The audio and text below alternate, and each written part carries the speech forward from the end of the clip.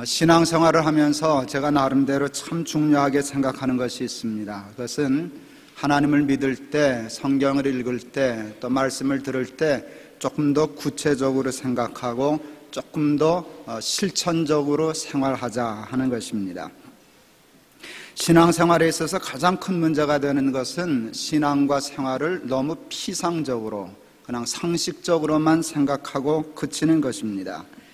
오직 의인은 믿음으로 말미암아 산다라고 했을 때 과연 믿음은 구체적으로 무엇을 의미하는가에 대해서 대부분 생각하지 않습니다. 예수 믿는 일에 있어서 믿음처럼 중요한 것이 없는데 믿음이 무엇인가라고 물으면 딱 잘라서 얘기를 잘 못합니다. 피상적으로 생각하고 구체적으로 생각하고 살지 않았기 때문입니다. 믿음에 대해서 구체적으로 생각지 않고 피상적으로 생각하며 살기 때문에 사람들은 그냥 보통 교회 다니는 것을 예수 믿는 것, 하나님의 존재와 하나님의 계심을 어, 인정하는 것을 믿음이라고 대개 생각합니다. 자신이 교회를 다니고 하나님이 계시다는 것을 인정하고 살기 때문에 자기는 하나님을 믿는 사람이요 당연히 구원을 얻었을 것이라고 아주 쉽게 생각들을 합니다.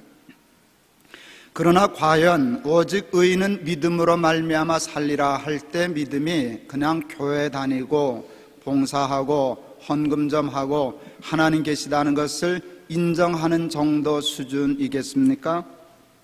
저는 그렇게 생각하지 않습니다. 믿음은 그렇게 쉽고 가벼운 것이 아닙니다. 믿음은 하나님이 자신과 세상의 주인이 됨을 인정하고 고백하고 고백할 뿐만 아니라 하나님이 주인이 되시는 삶을 구체적으로 사는 것입니다. 단순히 마음으로 시인하고 고백하는 것이 아니라 그대로 하나님이 주인이신 삶을 실천하여 살 때 그를 과연 예수 믿는 사람이라고 비로소 얘기하게 될 것입니다. 그러므로 믿음은 그렇게 쉽고 가벼운 것이 아닙니다. 사실은 욕심 많고 죄인인 우리들이 가장 갖기 어려운 것이 믿음이라고 할 수 있습니다. 믿음을 쉽게 생각해서 주일날 교회 빠지지 않는 정도로 생각하고 신앙생활을 하다 보면 믿음의 진보가 나타나지 않습니다. 왜냐하면 교회는 열심히 다니니까 믿음이 있거니 생각하니까 그 이상의 목표가 없어서 믿음의 발전과 진보가 없어집니다. 때문에 평생 교회를 다녀도 믿음의 발전이 없고 하나님께서 성경을 통하여 믿음에 약속해 주신 구원과 축복의 삶을 경험도 체험도 하지 못하며 평생을 낭비하는 사람들이 얼마나 많은지 모릅니다. 저는 지난주까지의 설교를 통하여 돈은 천국의 열쇠가 아니고 천국의 열쇠는 오직 믿음으로만 얻을 수 있다는 얘기를 했고 그 믿음은 하나님이 자신과 세상의 온전한 주인이 될 때 그것을 믿음이라 한다 하는 얘기를 했습니다. 설교가 여기까지 이르게 되면 마땅히 여러분의 마음속에는 질문 하나가 떠올라야만 됩니다. 만일 여러분에게 그와 같은 설교를 이제껏 들으시면서도 마음에 질문이 생기시지 않으셨다면 여러분은 여러분 자신을 좀 심각하게 생각해 보실 필요가 있습니다. 그것은 여러분들이 교회는 다니지만 정작 중요한 믿음에 대해서는 별로 큰 관심이 없다는 것을 의미하기 때문입니다. 믿음은 그냥 교회 다니는 것이 아니고 하나님을 자신과 세상의 주인으로 인정하고 실제로 그와 같은 삶을 살아가는 것이라고 얘기할 때 마땅히 여러분들이 가지셔야 할 질문은 그렇다면 과연 하나님을 자신과 세상의 주인으로 인정하고 사는 삶은 구체적으로 무엇을 의미하며 어떻게 사는 것인가 하는 질문을 마땅히 해야 합니다. 저는 오늘부터 몇 주에 걸쳐서 구체적으로 하나님을 주인으로 고백하며 사는 삶이 무엇인지, 어떻게 사는 것인지에 대해서 말씀을 드리려고 합니다.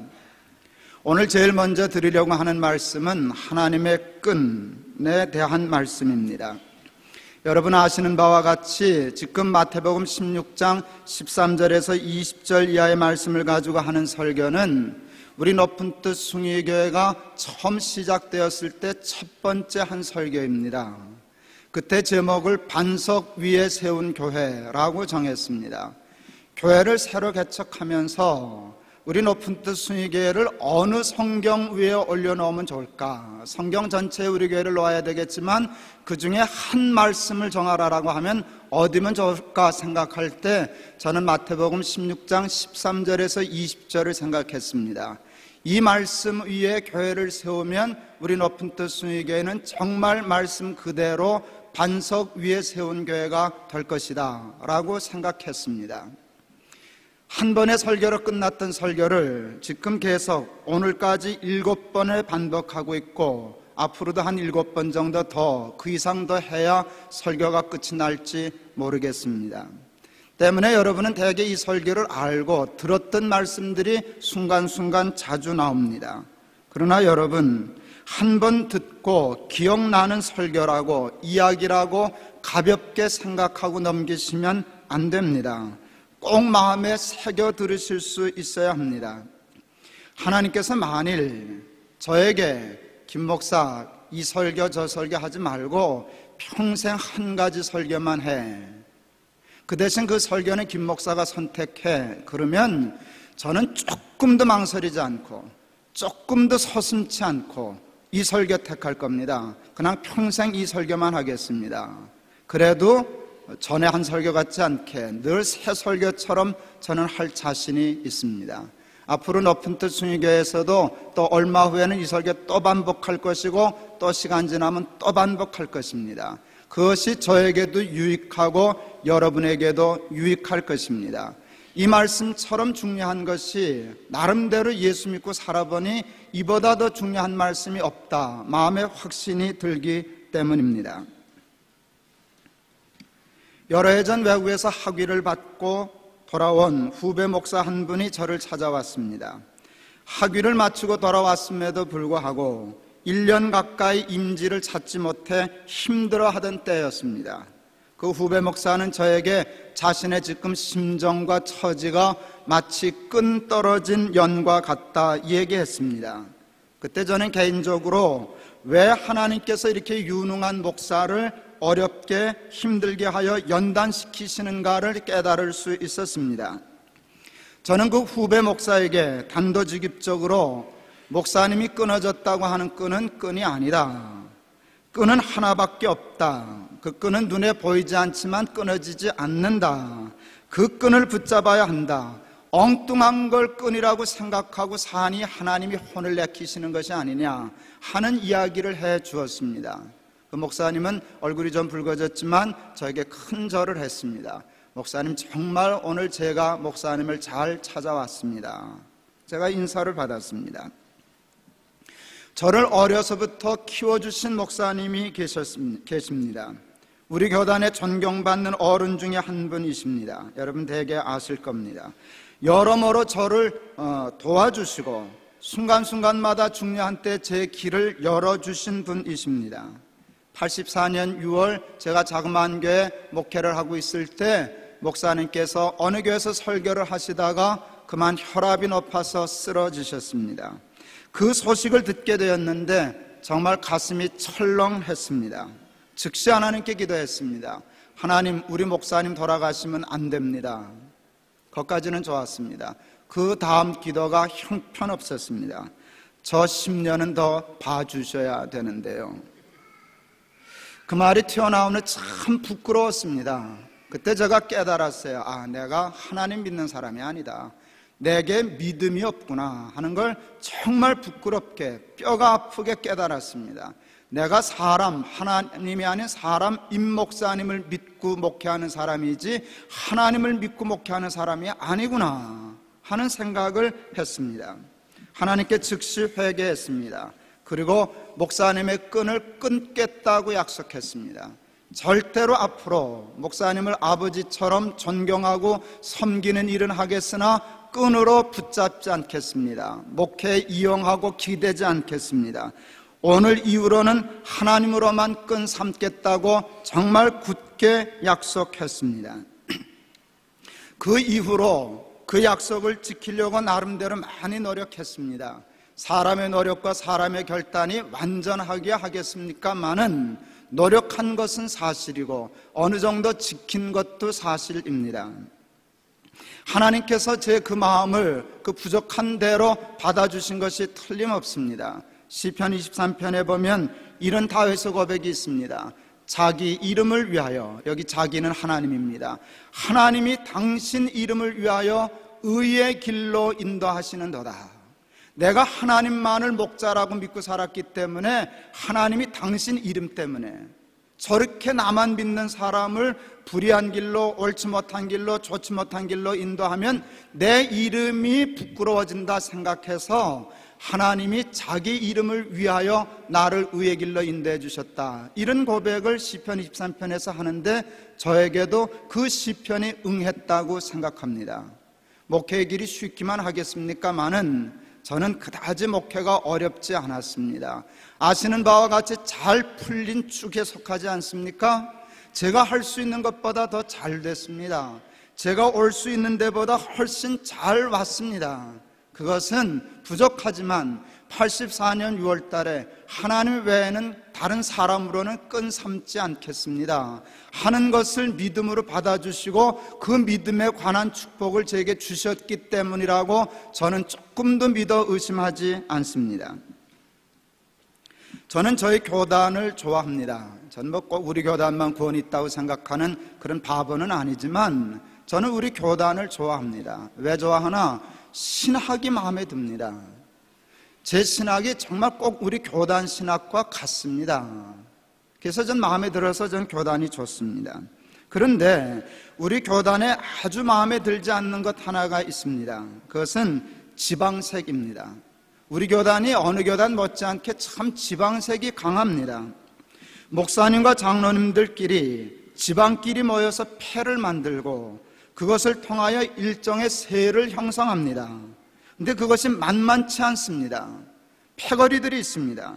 선교회라는 이름으로 호남, 영남, 충청도, 서울, 경기도 분들이 모여 있는데 선교를 안해하는 것은 아니지만 실제로 선교를 많이 하기도 하고 잘 한다 하기도 할 수 있지만 거기에는 불순한 의도가 숨어 있습니다. 호남 사람 호남으로, 영남 사람은 영남으로 길이 보존하세요. 뭐 이런 의도들이 숨어져 있습니다.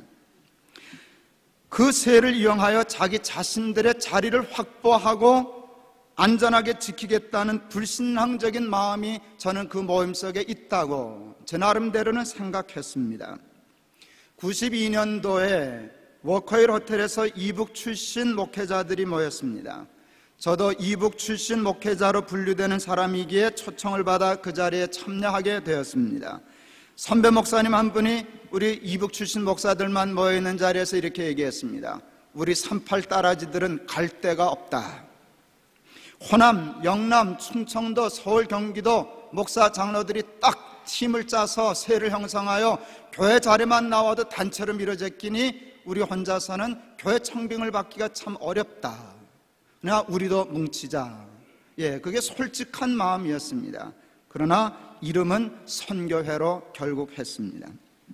저는 돌아오는 길에 차에서 하나님께 기도했습니다. 하나님, 저거 옳지 않습니다. 제 힘을 저기다 주지도 않겠고, 절대 저 힘을 이용해서 목회하지 않겠습니다. 그리고 일체 그 모임에 참여하지 않았습니다. 앞으로도 그와 같은 성격의 모임에는 일체 참여하지 않을 작정입니다. 왕따를 당하기도 했고, 조금 큰 교회에 섬긴다고 오해를 받기도 하고 교만하다는 얘기도 들었지만 지금까지 참여하지 않았고 앞으로도 안 할 것입니다. 그 이유는 하나님이 섭섭해 하실 것이 틀림없기 때문입니다. 너희 놈들이 나를 믿는 놈들이냐, 사람을 믿는 놈들이냐, 하나님은 반드시 그렇게 꾸중하실 것 같기 때문입니다. 아무리 사람들이 힘이 있어 보여도 당장 눈앞의 일들 잘 처리하는 것 같아 보여도 사람 믿고 목회하는 사람은 성공하지 못합니다. 하나님으로만 끈 삼고 하나님께만 매달리는 고집 있는 믿음이 결국은 승리할 줄을 저는 믿습니다. 동안교회를 사임하였을 때에 교인들 사이에는 제가 큰 물줄을 잡아서 교회를 떠난다는 루머가 있었습니다. 100억 원을 받았다는 구체적인 이야기까지 있었습니다. 왜 100억이라 그러는지 알 수가 없어요.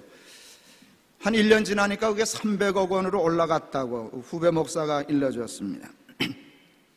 아마 제가 숭이여자대학에서 교회를 시작하고 숭이여자대학의 재단 이사장 가정이 적극적으로 밀어준다는 것을 알고 아마 오해하였던 것 같습니다.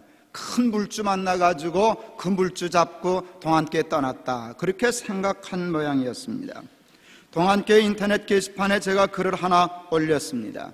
제목을 아주 잘 잡았습니다. 제목은 큰 물주와 조물주였습니다. 제가 큰 물주를 잡아 교회를 떠났다는 소문이 있습니다. 제가 큰 물주 잡은 거 사실입니다. 그런데 그 물주를 이번에 처음 붙잡은 물주가 아니라 본래부터 붙잡고 있던 물주입니다. 그 물주 이름은 큰 물주가 아니라 조물주입니다. 끝. 그렇게 썼죠. 예, 누가 100억 준다면 좋죠. 가져와 보세요. 내가 잘 받을 테니까. 쓸 데가 많거든요. 전 100억 아니야. 그보다 훨씬 더 많은 돈도 쓸 때가 있어요. 그러나 100억 준다고 쫓아다니지는 않습니다. 제가 큰 물주 잡고 목회하지 않습니다. 왜냐? 하나님이 섭섭해 하시기 때문이고 하나님이 훨씬 더 큰 물주인 줄을 제가 알기 때문입니다. 사람은 아무리 커봐야 큰 물주입니다. 하나님은 조물주입니다. 세상의 조물주를 큰 물주와 바꿔먹는 놈이 어디 있겠습니까? 그건 밥통이나 하는 일이지 바보나 하는 일이지 그런 짓은 전 할 마음 없습니다. 제가 사람 의지하고 교회를 시작했다면 교회는 그 교회는 모래 위에 세운 교회가 되었을 것입니다. 그러나 제가 하나님을 의지하고 교회를 시작하였다면 그 교회는 반드시 반석 위에 세운 교회가 될 것입니다. 반석 위에 세운 교회도 바람도 불고 비도 내리고 풍파도 일 것입니다. 그러나 잠시 어려움이 있을 수 있지만 결국 무너지지 않는 반석 위에 세운 교회가 될 줄을 믿습니다. 83년도 아주 위험한 차 사고를 당하였습니다. 1월 달 높은 다리에서 미끄러져서 10m도 넘는 다리에서 강바닥으로 추락할 뻔한 사고였습니다. 저는 그날 저녁 내가 오늘 100번이면 99번 죽다 살았는데 만일 오늘 내가 죽었다면 어떻게 됐을까 하는 생각을 하게 되었습니다. 그때 즉시 어머니, 아내, 새 아이들 생각이 났습니다. 나 하나 바라보고 이제까지 살아오신 우리 어머니 나 죽으면 어떻게 살까? 이제 30대 초반에 우리 아내 남편도 없이 애새 때리고 저거 어떻게 사나? 아직 초등학교도 가지 못한 우리 새 아이들 애비 없는 자식들 저거 어떻게 살까? 그게 이렇게 마음에 탁 맺혔습니다. 그때 하나님께서 생각으로 저에게 말을 걸어 오셨습니다. 예. 내가 죽어야 문제지 너 죽는데 뭐가 문제냐? 하나님 당신이 죽어야 문제지 김동원 너 죽었다고 문제 생길 게 뭐냐? 자식 먼저 죽은 부모는 다 못 산다든 자식 죽는 것처럼 급한 일이야 없겠지만 믿음은 그 죽음도 극복한단다. 제가 그게 믿어졌어요. 너 어머니 나를 믿기 때문에 너 죽어도 힘든 건 사실이지만 죽지 않아. 잘 나 믿고 끝까지 잘 살 거다. 내가 아멘 했죠. 내 아내도 마찬가지야. 남편 없는 여자 다 못 산다든 그렇지 않아. 너 없어도 내 안에 나를 잘 믿기 때문에 잘 극복할 거다. 아이들 훌륭하게 키우고 자기도 자기 일 잘 잡아서 훌륭하게 잘 살 거다. 그리고 농담도 하시대요. 가끔 당신 없으면 못 살아 그러지만 그거는 접대형 멘트란다 그러지. 애비 없는 자식은 다 잘못된다든 아비 없으면 고생 좀 하는 것 뿐이지 못 사는 것 아니야. 너희 아이들이 나를 잘 믿는다면 될거다될 수 있단다. 아비 있는 자식 될 수 있는 거라면 다 될 수 있단다. 내가, 내가 죽어야 문제지 너 죽는데 뭐가 문제냐? 확인하실 때 제가 아멘 했어요. 정말 그랬어요. 털끝만침도 의심이 가지 않았어요. 털끝만침도 그래도 그렇죠. 그런 생각이 들지 않았어요. 83년도 1월달 그 생각은 저한테 아주 유익했습니다. 제가 그래서 비교적 건방을 좀 안 떨려 그럽니다. 나 없으면 높은 뜻 순이게 안 된다는 생각을 안 합니다. 그래서 여러분 협박 안 합니다.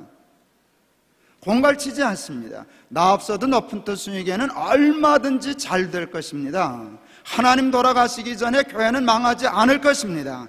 우리의 믿음만 반듯하다면 누가 목회를 해도 교회는 되는 겁니다. 맡겨주셨으니까 열심히 하는 것 뿐이지 나 죽으면 하나님 손해지 그런 생각 하지도 않습니다. 저는 조금 더 그와 같은 하나님의 말씀을 부인할 수가 없었습니다. 그때 제 마음에 강하게 떠오르는 성경 구절 하나가 있었습니다. 로마서 1장 17절의 말씀이었습니다. 오직 의인은 믿음으로 말미암아 살리라 함과 같으니라. 오직 의인은 남편으로 말미암아 살리라 자식으로 말미암아 살리라 아비로 말미암아 살리라 그런 거 없던데요. 오직 사람은 믿음 하나님 믿는 믿음으로 살 수 있다는 것이 성경에 우리에게 가르쳐 주는 것입니다. 남편 있으면 좋지요. 자식 좋지요. 좋은 부모 좋지요. 그러나 없어도 살 수 있어요. 없어도 살 수 있습니다. 저는 아내를 사랑합니다 여러분 아시죠? 아내도 저를 사랑합니다. 그러나 저는 제 아내 없이도 얼마든지 살 수 있습니다. 제가 우리 아내가 설교 듣는 일부 예배에서도 눈 깜짝 안 하고 이 설교 했어요. 저 아내 없이도 얼마든지 잘 살 수 있어요. 아내를 사랑하지 않아서가 아니에요. 아내가 아무것도 아닌 존재가 아니어서가 아니에요. 저한테는 가장 중요한 존재이지만 없어서 아니 되는 존재는 아니에요. 내게 없어서 아니 되는 존재는 단 한 분 하나님밖에 없어요. 하나님만 계시면 사랑하는 아내 없어도 살 수 있어요. 우리 안에 저 없어도 살 수 있어요. 저는 아이들 사랑하죠. 아이들 참 사랑하죠. 아이들 사랑하지 않는 부모가 어디 있겠어요? 그래도요, 저 자식 없어도 삽니다. 잘 살 수 있습니다. 그래도 하나님께 기도해요. 자식하고 잘 살게 해주세요. 라고 기도하지만 저는 자식 없어도 살 수 있어요. 하나님 계시면 충분히 살 수 있어요. 얼마든지 행복하게 살 수 있어요. 저는 남편 없는 부인들에게, 아내 없는 남편들에게, 자식 없는 부모, 어른들에게, 부모 잘만 못난 자식들에게 가르칠 수 있어요. 하나님 돌아가지 않았으니 낙심하지 말아라. 핑계하지 말아라. 얼마든지 행복하게 기쁘게 잘 살 수 있는 길이 주 안에 충분히 있다. 가르칠 자신이 있어요. 설득시킬 자신이 있어요. 오직 의인은 믿음으로 말미암아 살리라 하는 말씀의 뜻이 바로 그 뜻인 줄을 믿습니다. 남편과 아내를 사랑하는 것이 옳지만 남편과 아내를 하나님처럼 의지하고 사는 것은 옳은 일이 아닙니다. 부모와 자식을 하나님처럼 생각하고 기대고 의지하고 사는 것도 옳은 일 아닙니다. 남편과 아내는 하나님이 될 수 없고 부모 역시 자식도 서로에게 하나님이 될 수 없습니다. 요즘 큰 교회 목사님들이 아들에게 교회 물려주는 게 유행인데 바보 같은 일입니다. 우리 큰 아들놈이 그러대요. 자식에게 물려주는 아버지도 이해는 잘 안 가지만 아버지가 물려준답시고 그걸 또 받는 아들이 더 이해가 안 갑니다. 그 정신 가지고 그 큰 교회 목회할 수 있겠습니까? 어, 이 아들놈이 하나님 믿을래는가 보다 내가 생각했어요. 예, 아버지 믿고 기대서 그걸 언덕, 비빌 언덕으로 삼아서 목회하는 사람, 사람 보기는 좋아 보여도 큰 사람 못 됩니다. 하나님은 언제나 우리를 맨 땅에 팽개치십니다. 그리고 살아나. 부모는 함께 사는 존재지 기댈 존재가 아니야. 남편과 아내도 마찬가지야. 사람 의지하지 말고 내 힘으로 일어서 내가 나 믿고 살아야지 너 아버지 믿고 목회해서 사람질 하겠냐? 하나님 분명히 그렇게 말씀하실 줄을 믿습니다. 그러니까 여러분 아버지 잘 만나서 출세해 보이는 사람 부러워할 거 하나도 없어요. 그 잘 될 사람 아니거든요. 여러분 그렇게 되면 여러분 불쌍해집니다. 차라리 내가 맨 땅에서 하나님 붙잡고 일어서는 게 훨씬 좋고 옳겠다. 생각하고요. 뭐 그분들은 악인이라고까지 얘기할 수 없지만 성경에 이런 표현이 있어요. 악인의 형통함을 부러워하지 말아라. 옳지 못한 사람들의 형통함 절대 부러워하고 배합할 필요 없습니다. 여러분 하나님 믿고 홀로 굳게 설 수 있는 믿음의 자유인들이 되실 수 있기를 바랍니다. 사람을 의지하지 말고 하나님만 의지하고 살라는 것은 사람들과 상종치 말고 독불 장군으로 살라는 말씀이 아닙니다. 서로 돕고 협력하고 살아야 합니다. 서로 사랑하며 함께 살아야 합니다. 그러나 그 한계가 분명해야 한다는 것입니다. 서로 협력하지만 서로 의지하지만 하나님 의지하듯이 하면 안 된다는 것입니다. 정말 우리가 기대고 의지해야 할 분은 하나님 한 분뿐이고 하나님 때문에 홀로 살 수 있는 남편이 아내 사랑하여 함께 살 때 그때 가정이 행복합니다.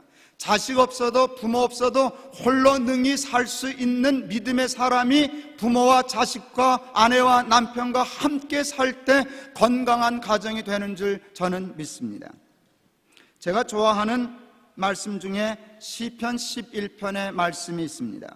내가 여호와께 피하였거늘 너희가 내 영혼도로 새같이 내 산으로 도망하라 함이 어찌민고 악인이 활을 당기고 살을 시위에 먹이며 마음이 바른 자를 어두운 데서 쏘려 하는도다.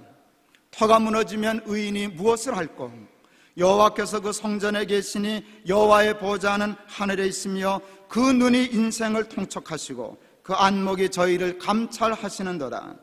여호와는 의인을 감찰하시리니 악인과 강폭함을 좋아하는 자를 마음에 미워하시는도다. 악인에게 그물을 내리치시리니 불과 유황과 태우는 바람이 저희 잔의 소득이 되리로다. 여호와는 의로우사 의로운 일을 좋아하시나니 정직한 자는 그 얼굴을 배우리이다. 다윗이 어려운 일을 당하였습니다. 언제나처럼 다윗은 하나님께 피하였습니다. 그리고 조금 더 두려워하지 않습니다. 근데 옆에 있는 사람들이 걱정입니다. 왜요? 옆에 있는 사람들에게 하나님이 보이질 않기 때문입니다. 다윗은 하나님께 피하여 안심하고 있는데 믿음 없는 사람 눈에 볼 때에는 다윗이 원수가 활을 겨누고 있는데 도망도 안 가고 떡 버치고 있는 상황 꼴이 되어버렸습니다. 그래서 얘기합니다. 새처럼 내 산으로 도망하라. 그 말을 들은 다윗의 대답이 이것입니다. 내가 여호와께 피하였거늘 너희가 내 영혼도로 내 산으로 도망하라 함이 어찌민고? 야 나 피한 거야. 만세반석. 산성과 같은 방패와 같은 하나님이 나를 막아주고 계셔. 내가 어디를 도망가냐? 도망가면 죽지. 여기 있어야 살아. 이게 다윗의 믿음입니다. 제가 이 시편을 읽으면서 이런 생각했어요. 아 하나님은 방탄 투명 유리 방패와 같구나 어느 것도 뚫을 수 없는 방탄이에요. 근데 문제는 투명이에요. 유리예요. 그래서 이렇게 딱 막았다고 말씀하시는데 눈에는 안 보이는 거예요. 눈에는 하나님이 보이지 않고 원수가 보여요. 활딱 겨누고 있는 것만 보여요. 이때 믿음이 없으면 야 이게 벌벌벌벌 떠는 거죠. 무섭죠. 근데 다윗은 눈에 보이지 않. 다윗의 눈에는 불투명이었을까요? 하나님이 우리 눈에만 투명이고요. 아니요.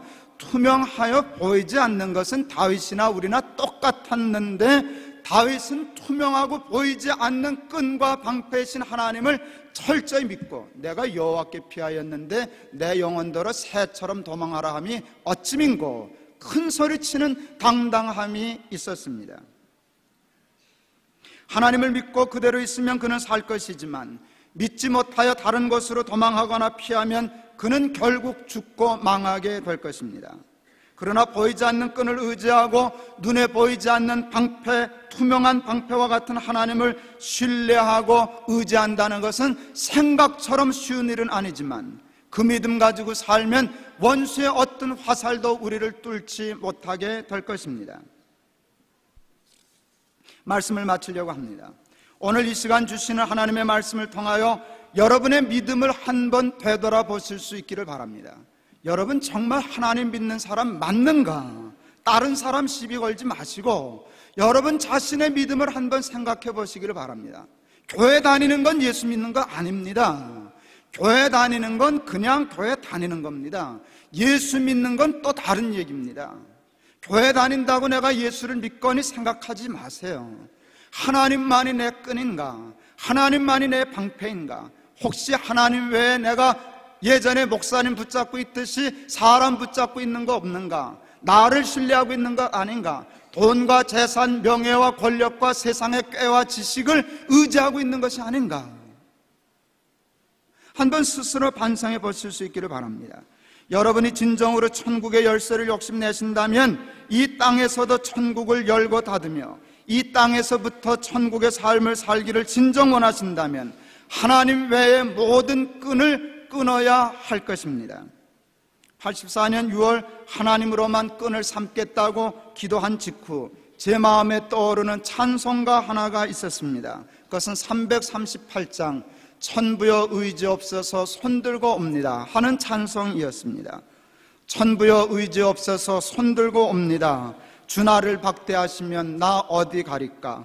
내 죄를 씻기 위하여 피 흘려 주시니 곧 회개하는 마음으로 주 앞에 옵니다. 그 찬송을 마음으로 부르며 하나님께 이렇게 기도했습니다. 하나님 제 손 보세요. 이제는 아무도 붙잡지 않았습니다. 하나님 밖에는 끈 아닙니다. 하나님 박대하시면 나는 이제 죽을 수밖에 없습니다. 주 나를 박대하시면 나 어디 가리까? 하나님 내 손 보세요. 나 빈손입니다. 그 찬송할 때 참 은혜가 많았어요. 하나님이 그 찬송을 참 좋아하신다는 사실을 알게 되었습니다. 사랑하는 여러분, 여러분에게는 하나님 대신 붙잡고 있는 끈이 없으십니까? 그것을 놓으면 도저히 살 수 없을 것만 같은 것들이 없으십니까? 저 조금만 건방 떨게요. 예, 전 다 있으면 좋겠어요. 돈도 있으면 좋겠고, 아내도 있으면 좋겠고, 자식도 있으면 좋겠고, 다 있으면 좋겠어요. 그래도 꼭 부르시면 없어도 살 수 있어요. 정말 그렇게 놓을 수 있어요. 하나님 붙잡으면 얼마든지 살 수 있어요. 저는 아직도 차가 좋아요. 차를 타고 뭐 하루 종일 운전해도 어느 날 보니까 하루에 1200km 운전했던데 최근에 그래도 그렇게 좋아요. 그래도 핸들을 우리 아내한테 안 줘요. 내가 운전하는 게 좋아가지고 차 타는 거 참 좋아요. 그래서 차 욕심이 참 많지요. 그래도 하나님 너 버스 타고 다녀. 아이 그냥 버스 타고 다니죠. 걸어 다니죠. 아, 있으면 좋은 거지만 그거 없다고 내가 못 살 건 아니잖아요. 에이, 하나님 그거 그렇지 않습니다. 놓을 수 있습니다. 돈 놓을 수 있습니다. 안에 놓을 수 있습니다. 하나님 붙잡으면 나 얼마든지 그 상황에서 최선 다하며 살 수 있습니다. 말이 씨가 된다고 잘못하면 그렇게 될 수도 있겠지만 에, 그래도 걱정할 거 없어요. 그러면 그런 대로 살고 있으면 있는 대로 사는 것이지 하나님 없어지신다면 문제가 되지만 하나님 외에 놓지 못할 것 저 없습니다. 여러분 그것이 없어야 자유합니다. 그것이 없어야 천국이 열립니다. 그게 없어지면 하나님이 당신 창피하셔서 그게 자기 이름을 위하여입니다. 당신 창피하셔서 우리를 좋은 길로 의의 길로 귀한 길로 형통한 길로 인도해 주신다는 겁니다. 말로는 주여 주여 하면서도 하나님보다 돈 더 사랑하는 사람을 하나님이 뭘 걸고 그걸 지켜주시겠어요? 저놈은 나 믿는 놈 아니야. 돈 믿고 살지. 저 자기 자신 믿고 살지. 경험 믿고 살지. 사람 믿고 살지. 언제 나 믿었나? 내 책임 없어. 뭐 하나님 혹 그러시지 않으시겠어요? 다 끊어버리고 천부에 의지 없어서 손들고 옵니다. 하나님 박대하시면 난 갈 데 없습니다. 하나님만 끊이고 하나님만 방패입니다. 아예 대수준 치듯이 빚쟁이 아예 집에 가서 들어눕듯이 하나님 앞에 벌렁 들어놓으면서 하나님 책임지세요. 그래 놓으면 하나님 귀찮아하지 않습니다. 하나님 너무 기뻐하십니다. 내가 내 이름을 걸고 너를 의의 길로 좋은 길로 형통한 길로 인도해 주마. 내가 내게 천국의 열쇠를 줄 것이다. 땅에서 열어봐라. 땅에서 열릴 것이다. 땅에서 묶어봐라. 하늘에서 묶일 것이다. 땅에 살아도 꼭 천국처럼 살 것이다. 하나님의 약속인 줄을 믿습니다. 학생 때 읽었던 헬만 헤세의 데미안이라는 소설이 생각났습니다. 그 소설 앞부분에 이런 글이 있던데요. 새는 알을 까고 나온다. 새로운 세계를 창조하려고 하는 자는 새로운 다른 한 세계를 파괴해야만 한다. 새는 알을 까고 나온다. 새로운 세계를 창조하려고 하는 자는 반드시 다른 한 세계를 파괴해야만 한다. 우리는 새로운 세계를 바라고 사는 사람들입니다. 그 새로운 세계를 우리는 천국이라고 이야기합니다. 새로운 세계를 창조하려고 하는 사람은 천국의 열쇠를 가지고 이 땅에서도 천국을 열고 닫으며 살려 하는 사람은 다른 한 세계를 파괴해야만 합니다. 다른 한 세계라고 하는 알을 깨지 않고는 새가 될 수 없습니다. 날 수 없습니다. 새로운 세계를 창조할 수 없습니다. 하나님의 끈을 붙잡으려고 하는 사람은 반드시 그가 잡고 있는 하나님 외에 다른 끈을 놓아야 합니다. 그 끈을 놓지 않고 하나님을 붙잡을 수 없습니다. 다른 세계를 파괴하지 않고 다른 세계를 창조할 수 없습니다. 그것을 놓기 전에 그는 절대로 하나님의 끈을 붙잡을 수 없습니다. 하나님의 끈을 붙잡지 못하는 사람은 평생 교회를 다녀도 천국의 열쇠를 얻을 수 없습니다. 천국의 삶을 열 수 없습니다. 여러분 마음대로 하세요. 여러분 원하는 대로 끈, 그 선택은 여러분 거니까 하나님 끈 붙잡고 살든 세상 끈 붙잡고 살든 그건 여러분 마음대로 하세요. 그러나 책임은 여러분이 져야 할 것입니다. 저는 하나님 끈 붙잡고 살겠습니다. 저는 제새 아이들에게 나 믿지 말라고 가르칠 겁니다. 나 의지하지 말라고 가르칠 겁니다. 하나님 믿고 살아라. 하나님으로만 끈 삼아라. 그것 하나 유산으로 물려주고 싶습니다. 믿음은 그냥 교회 다니는 것 아닙니다. 믿음은 하나님으로 자신과 세상의 주인을 삼고 사는 것입니다. 하나님을 자신과 세상의 주인으로 삼고 산다는 것은 하나님으로만 끈 삼고 세상의 그 어떤 것으로도 끈을 삼지 않는다는 것을 의미합니다. 세상 사람들이 모두 붙잡고 있는 그리고 지금까지 나도 놓지 못하고 붙잡고 있는 그 끈을 포기하는 것을 의미합니다. 세상 끈을 스스로 끊고 하나님의 끈만을 붙잡는 믿음으로 천국의 열쇠를 얻어 이 땅에서도 천국의 삶 살아가는 저와 여러분들이 다 되실 수 있기를 바랍니다. 기도하시겠습니다. 하나님, 우리 사랑하는 높은 뜻 승희 교인들에게 하나님 믿음의 축복을 주시옵소서. 하나님으로만 끈 삼고 하나님만 있으면 세상 다 무너져도 능히 살 수 있다는 믿음의 용기를 가지고 살아가는 백성들 되게 하여 주옵소서. 대책 없이 하나님만 의지함으로 하나님이 당신의 이름 때문에라도 의의 길로 인도할 수밖에 없는 다윗과 같은 삶을 살아가는 우리들이 다 되게 주님 도와 주옵소서. 그러나 우리는 너무 약합니다. 우리의 의지와 결심으로 우리가 잡고 있는 모든 세상의 끈을 끊을 수 없습니다. 성령님, 우리가 그 끈을 끊고 하나님의 끈만 붙잡을 수 있도록 도와 주시옵소서. 예수 그리스도 이름을 받들어 기도하옵나이다. 아멘.